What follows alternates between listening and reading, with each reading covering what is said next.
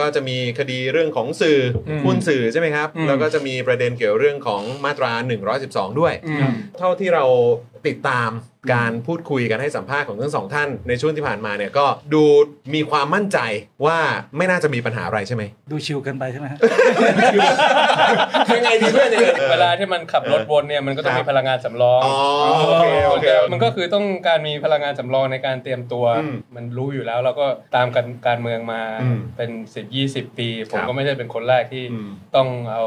ชะตาชีวิตทางการเมืองไปแขวนไว้อยู่กับสารรัฐธรรมนูญอืมใช่ไหมอดีตนายกกี่คนคุณธนาธรรวมถึงผมครับณพิพักษ์ไปกี่ครั้งเราก็เห็นภาพกันอยู่ครับ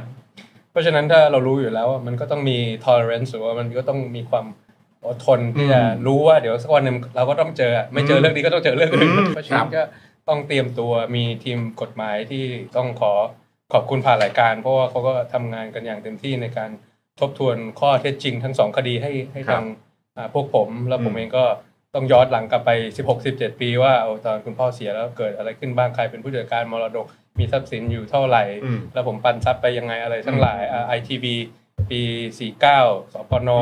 กลายเป็นพรบไทย PBS คลื่นอืมของไทยครับ PBS ไปแล้ว หยุดเทรดปี 57 เพราะว่าอืมโดน suspension เพราะว่าไม่ได้ส่งอะไรทั้งหลายทั้งนั้นอืมอืมอ่ามันก็รู้สึกว่าทั้งผมแล้วก็คุณชัยธวัฒน์เนี่ย มั่นใจในการทำนะตรงนั้นคในรับการทบทวนข้อเท็จจริง